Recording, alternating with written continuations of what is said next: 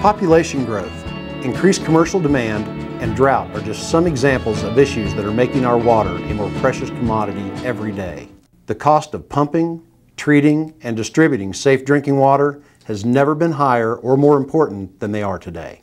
These factors, along with many others, make maintaining the integrity of the water distribution infrastructure a top priority for every city in every country around the globe. The Fisher XLT17 and XLT30 are high quality, reliable tools that will allow the water industry professional to find leaks on his buried water mains using advanced acoustic enhancing technologies. Leak detection is a combination of art and science. The science is in the mics, the sensors, and the electronics found in modern leak detection equipment. The art is in the individual's ability to use the equipment and locate sources of noise, some incredibly minute, that are caused by water escaping from buried pipes. With practice, an individual with average hearing can become very proficient at locating leaks using the XLT series from Fisher. Let's start by looking at the user interface of the XLT30. The XLT17 has the same general controls as the XLT30 with less filter options, no backlight, and a narrower bandwidth in its sensors. The other functions are basically the same. The XLT30 has the capabilities to listen to sounds from the 60 Hz to the 6 kHz range when used in the all frequency mode. To turn the unit on or off, at first you get a startup battery test for approximately 3 seconds. Please note, the headphones must be plugged in for the unit to turn on.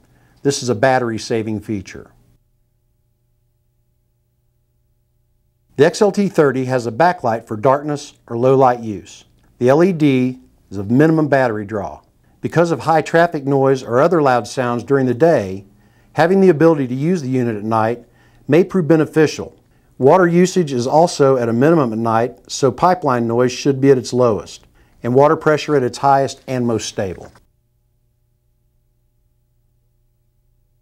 The filter button scrolls between the high range filter the low filter range, and both of these can be adjusted using the up and down arrow keys. It has frequency control, which allows the user to listen to a very narrow sound band to isolate leak noise, and an AL, which is all filter, which has no filtering at all.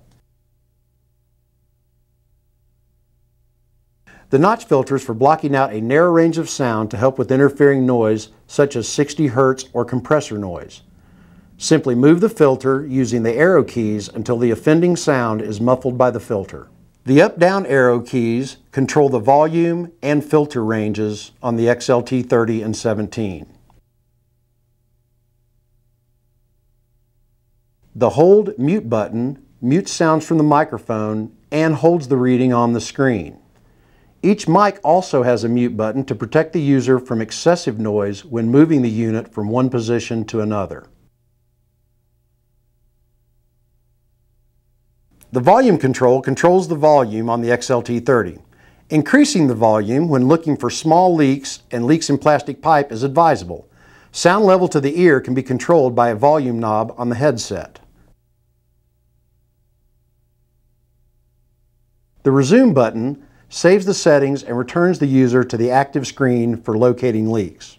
Note, the display gives you both numeric and bar graph display to compare noise levels at various locations with a fixed bar remaining at the highest sound level taken.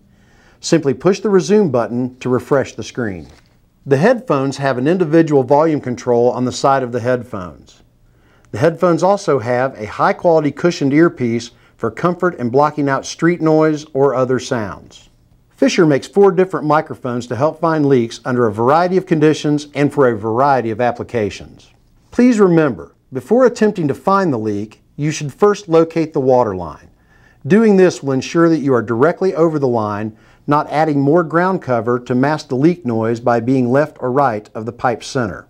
The hydrophonic probe is used for contact mic, valves, hydrants, and soft earth applications.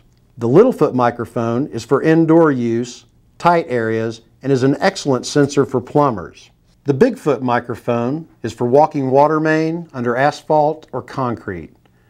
Excellent sound baffling for reduction in wind noise and other outside sounds is the main feature of this microphone. The multi-sensor has the same great high-quality sensor as the Bigfoot in a smaller package for contact mic work, soft earth, or mainline applications. When using the multi-sensor in hard soil, it is advisable to make a pilot hole to keep from putting too much pressure on the sensor when being pushed into the ground. Do not pound or hammer the mic into hard soil. You could damage the sensor. Leak sounds may be heard at different locations, such as hydrants, meter pits, valves, surface of ground, and underground. The more dense the pipe material, the better it will conduct sound, making the detection of the leak easier. On a ductile iron pipe, the sound will travel much farther than the same size or pressure leak on a plastic pipe. When looking for a leak on metal pipes, listen every four to six feet, roughly two steps. When looking for a leak on a PVC or plastic pipe, listen every two to four feet, or one step. Other sounds that can help you pinpoint a leak's location are sounds such as gravel rolling and striking against each other, sand grating against itself or other solid objects, or dirt or rocks falling into the void caused by the erosion from the leak. Soil density. Remember that the fill over the pipe may be different from that of the soil in the area. Loose soil, especially with gravel or rock, is good for sound transmission. Wet sand, heavy clay, and heavy compaction make sound transmission much more difficult. For information about finding leaks in swimming pools, we recommend contacting Anderson Manufacturing at 651 484 1316. These are a few of our most frequently asked questions.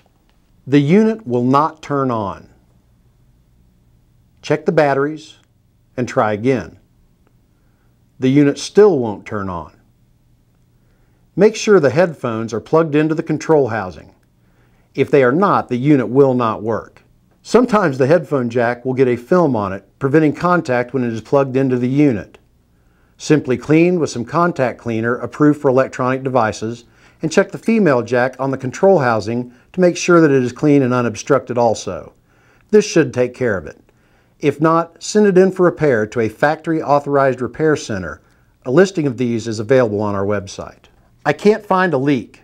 A couple of the most common issues that I see in the field are people looking for leaks where they think the pipe is, and moving too fast looking for the leak. First, always determine the pipe's exact location. Moving as little as two feet to the left or right of the center of the pipe can add an additional foot or more of soil resistance to the leak sound. And slow down. In many situations, the sound being generated by the leak is very minute.